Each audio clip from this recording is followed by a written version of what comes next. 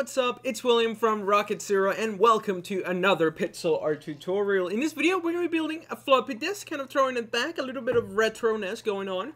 Now, for this floppy disk that I got from candypatterns.com, description down below, we're going to be using some black, whatever color you want to use. I'm going to use light blue wool because I remember way back then, we might have used light blue floppy disk. I don't remember, I was really young when we would use them. But whatever, I'm going to be using light blue, then some gray wool, white wool, but you can use whatever color you want for your floppy disk. It doesn't matter.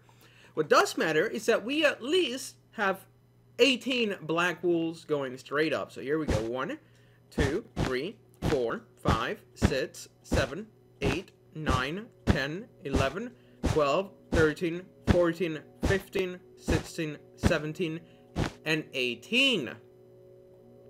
Now, after we have 18 black wools, we're going to do 15 on the bottom and then 16 on the top.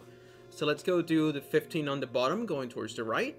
So 1, 2, 3, 4, 5, 6, 7, 8, 9, 10, 11, 12, 13, 14, and then 15. So we have 18 on the left, 15 on the bottom, and now we're to do 16 on the top. So here we go. 1, 2, 3, 4, 5, 6, 7, 8, 9, 10, 11, 12, 13, 14, 15, and then 16. So once again, we have 18 on the left, 15 on the bottom, 16 on the top, and then we're going to have 16 going down on the right. So here we go.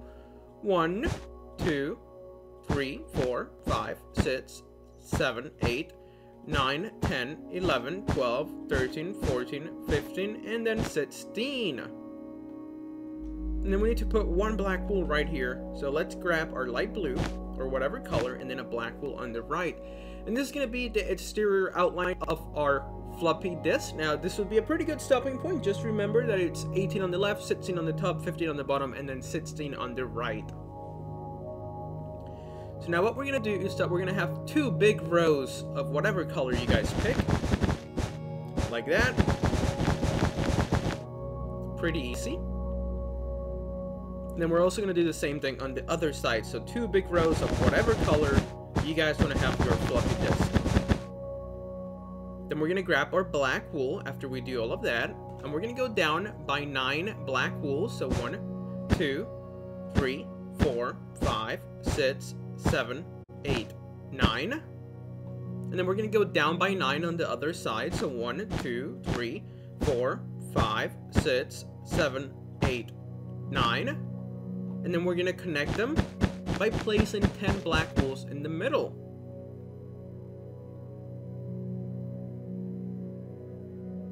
Now on the bottom here, what we're going to do is that we're going to grab our light blue again, and we're going to do another row straight up. If you want to count it, that's going to be seven blocks, but you really don't have to. What we're going to do next is that we're going to grab our black, and we're going to go up by five. So one, two, three, four, five. Then we're going to place one, two, three, four, five, six, seven, eight, nine.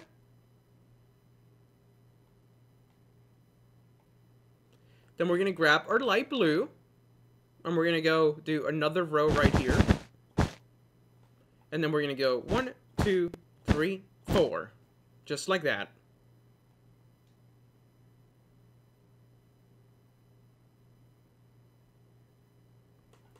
Then we're going to add two rows of four gray wools. And then we can just start filling this in with some black wool.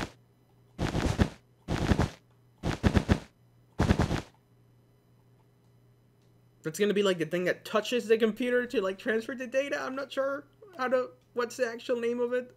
It's not like an idiot saying that's part that touches the computer, but that's the part that you insert. The bottom part. And then here, it was really kind of cool so you could write on it because it was so big you could actually like write what it had on it. So we're just gonna fill this in with some white wool and if you want you can even like just add a couple black wools for like I don't know maybe like a letter we might do that at the end of the video. Let's see. We're just going to have to fill it in for a couple seconds. A couple more rows.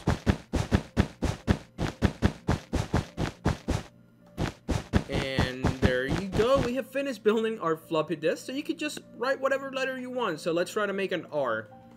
Just, my last name is Riley, so here we go. Let's just burst a couple of them. You could do whatever letter you want. Just freestyle in this. I don't know if it's gonna turn out alright or not, but who knows.